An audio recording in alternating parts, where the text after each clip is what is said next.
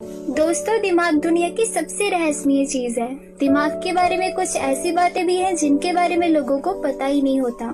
क्या आप जानते हैं, यदि इंसानी दिमाग में पाँच से दस मिनट तक ऑक्सीजन की कमी हो जाए तो यह हमेशा के लिए डैमेज हो सकता है।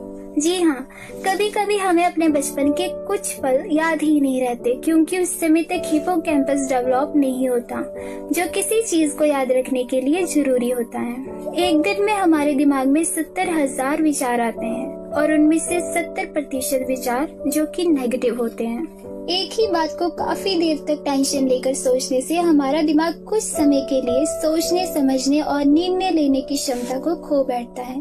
यदि आप लंबे समय तक फ़ोन का इस्तेमाल करते हैं तो आपके दिमाग में ट्यूमर होने का खतरा हो सकता है। इसलिए फ़ोन को उतना ही इस्तेमाल करना चाहिए जितनी ज़रूरत हो। हमारा दिमाग 24 घंटे काम करता है। जब हम सो रहे होते हैं, तब भी हमारे दिमाग के अंदर कुछ न कुछ चलता रहता है, जिससे हमें सपने आते हैं।